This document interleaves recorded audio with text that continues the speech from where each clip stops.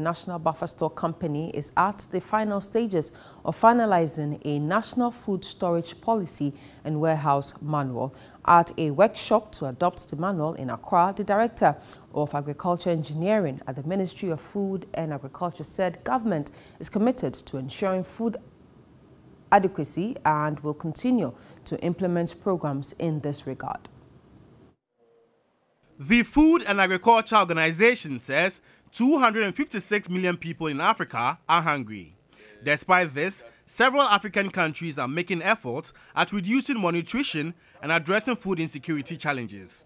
Projects addressing climate change, interrupted food supply threats, and increasing productivity are being undertaken. Ghana's efforts at tackling food insecurity include a policy on national food storage and warehousing procedure manual.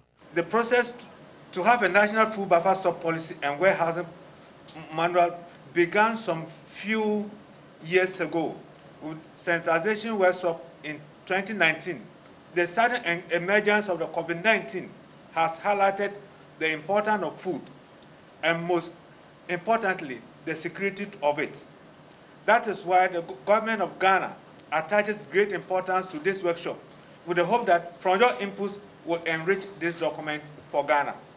The Director of Agriculture Engineering at the Ministry of Food and Agriculture, Amatus Deyang, said initiatives such as the Planting for Food and Jobs has rekindled hope in farming.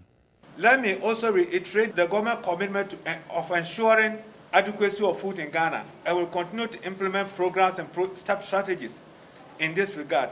It is equally prepared to have within the framework of the United Nations of SDGs by seeking to end hunger, achieve food and security and improve nutrition and promote sustainable agriculture and helping to multiply other goals relating to challenges in the food system in the SDG 1. We focus on poverty reduction where agriculture and food has played a major role. I have the pleasure now to declare this workshop duly open.